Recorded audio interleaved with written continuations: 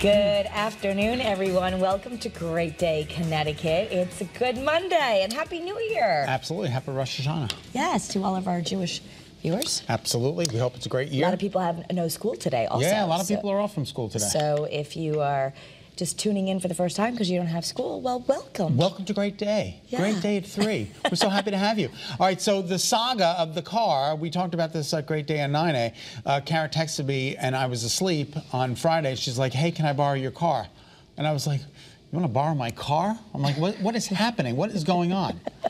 So anyway, we teased at 9A that I it was not enough time. I'll tell the story now. So uh, thank you to Jim Bazzi who helped us. Uh, we were my kids wanted to go see Lil Tecca at the Oakdale Theater. So he's like, oh yeah, and I'm like, is it going to be okay for that age group, whatever? And he's like, yeah, yeah, it's fine. So anyway, um, we got tickets. I agreed that I would be the bus and.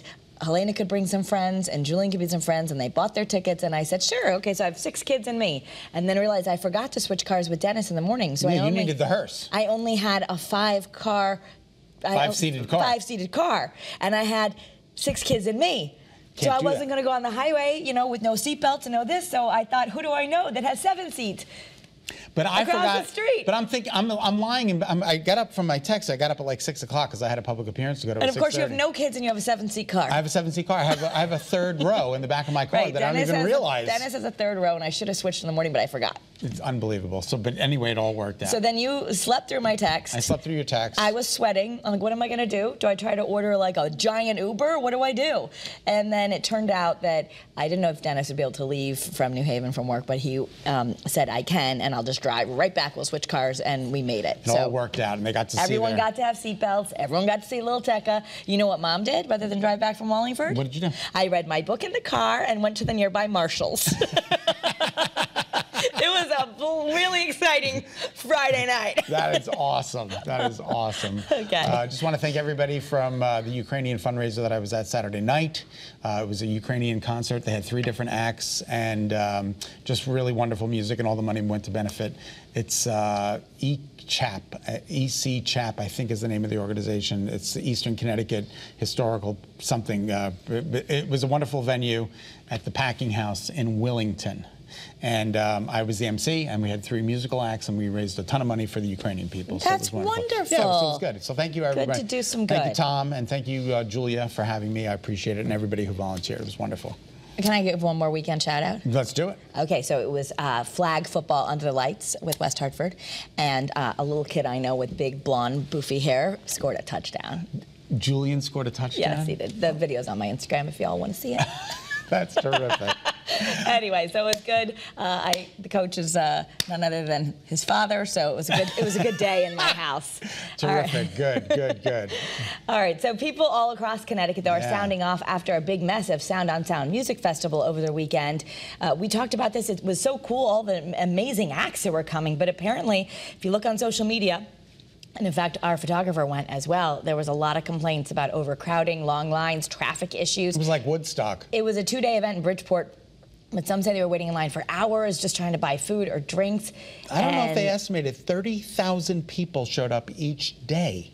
30,000 people each day. But they must know when they sold the tickets how many were coming. I guess so, right? They made $25 million, but apparently they have some growing pains and they're going to have to start rethinking. So they're asking you to go online and, and talk about any problems that you had so they can try and correct them in the future. Well, that's good. I mean, the, I it was good. at Seaside Park. I heard nothing but like, "Wow, this is going to be amazing! What Yeah, a great festival!" Stevie Nicks. So many people end up going, you know, Dave out of state to those big music festivals. So it's great to have one here. Yeah. So I think that right, we got to celebrate the win that we had these amazing acts, and maybe they just need to, you know, get more porta potties, get more food.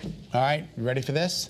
The new sponsor of the Super Bowl halftime show is stepping up in a big way. It's no longer Pepsi, it's now Apple, announcing Rihanna Ah. as the 2023 headliner. Rihanna Wow. confirmed her participation with a tweet of a picture showing her hand holding an NFL football. Kara, look at Wow. her. She's so beautiful. She isn't absolutely is. You, she lives somewhere in the Caribbean. I forget what island. Oh, okay. She has a house in the Caribbean, and every time we take a tour, everybody's like, I think it's Barbados.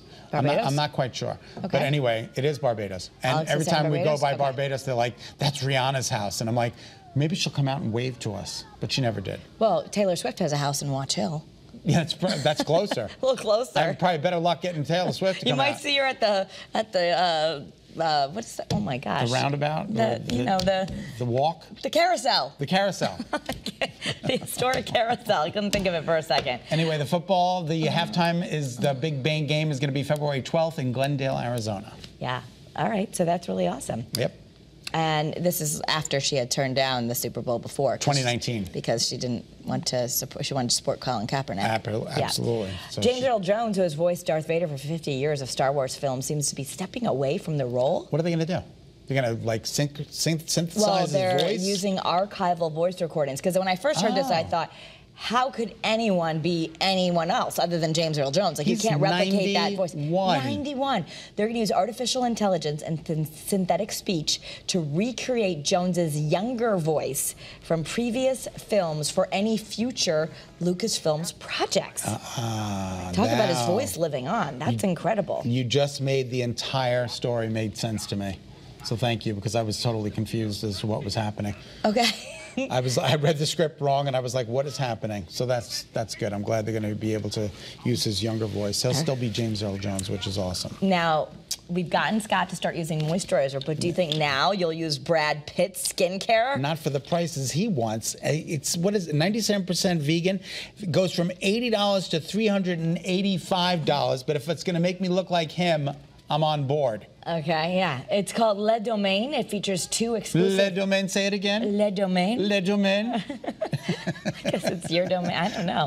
It's uh, the domain. Anyway, it's patented active ingredients to balance the skin and target visible signs of aging. Brad Pitt apparently is really into this. He used to not do m- much great skincare, and he says it's made a difference. And it's all green. It has refillable products, upcycled packaging.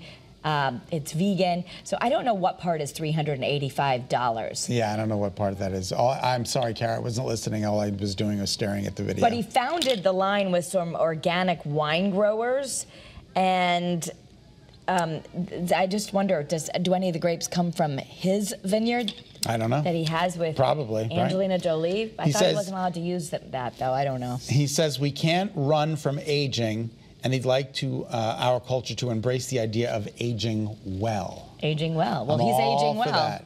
Do you know? Do you not love John Cena He's such a good guy. from the from the hefty uh, garbage bag ads? Isn't that it, John Cena? Did he do the hefty ads? Yeah, he does the hefty bags where he Oh. comes out and the neighbor's like, "Look at that garbage bag." He's a And 16 they're like, "Look at John Cena." Well, he's hefty, right? Okay. He's, got, he's, He's a, he's a 16 time world champion for wrestling, but he just set a new record. He now holds the world record for the most wishes granted through the Make a Wish Foundation. Now, that's an awesome record.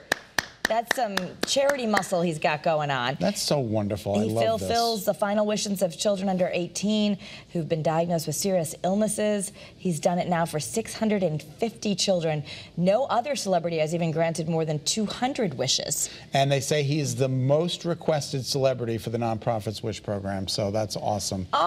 So that's part of it. Is the kids just really love him and they always request him. Absolutely. God bless. That's he's, really great. That, uh, he's a wrestler, right? Forgive me. Yeah. Yeah, they're big. And he acts and everything. Kids love that wrestling. Oh, I used to watch when I was a kid. Did you? Yeah. I did- was my- Hulk Hogan, Roddy Roddy Piper. It was one of my thesis was on Vic, Vince McMahon when I was in Syracuse. About what? About his whole life and how he built this built this conglomeration What, and what, what, what was your take on it? um, that they wanted to know if it was fake or real, like back then. Oh, so we had to get in, go Yeah, into there's a that. lot of acting a lot of that involved, going on. yeah. So that. Um, Rocket Man, burning down the head of the They I don't know say the it's his final farewell tour Yes, now. oh, sure it is.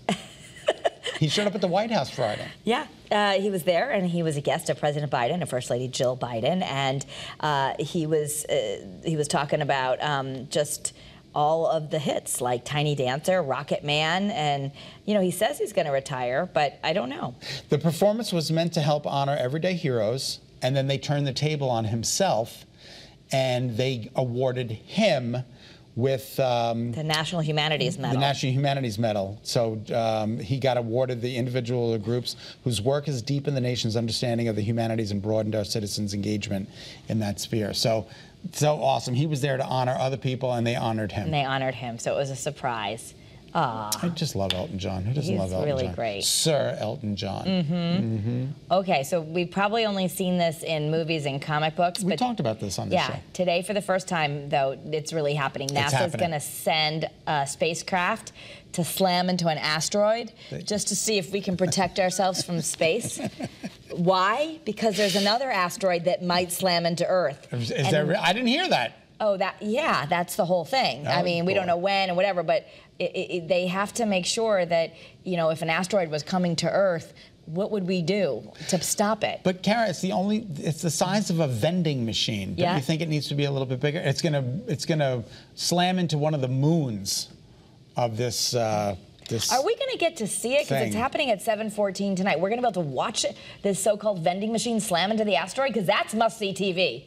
They're gonna try and show it. I so want to see that. It'll be right before. Well, Eyewitness News at seven will be on right before the Capitol Catwalk, which is streaming live at 7:30. So maybe we get to see the.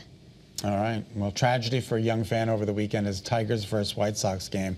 The boy was enjoying an ice cream, and guess what happened? It fell on the floor, but I mean the five-second Watch. rule. Take a look. Oh, Oh. no! Oh no! That is an oh. American tragedy. You know? can it. Oh, look, Dad, Dad. Come on, Mom. they go back to him. second rule. Not- on it's- television. Five second rule. that Dad takes it. He's like, it's fine, buddy. Don't look, worry. look, at his face. Look oh how sad. no! He's and then so sad. Dad wipes it off, Wipes it off. You know, gives it back, don't worry. and then he gets the five second rule and he continues eating. So See, let me. look, He just learned the five-second rule. It was probably like less than that. It's probably like three and a half. Look, there you go. back to happy. Back happy. to the kid and watch him. I'm so happy. Happy. And speaking of happy, I want to give a shout out to Claudia Bogue. Oh yeah, she's such a good Facebook commenter. Our dog Max Yeah? is seven today. Uh, Oh my goodness gracious. Look at little Max. Look at Max. Wait, what kind of dog is he? Is He's a little Chihuahua. A little Chihuahua. Okay. Little Chihuahua. He Max. a little. I never know. Sometimes Chihuahua have a lot of fur, and sometimes they don't yeah, have that some- much. exactly. This is a long haired, I guess. Okay. Beautiful. Claudia and Max, we hope you're having a great day. Happy seventh birthday, Max. Oh, lucky number seven. And thank you for the birthday music, Adam.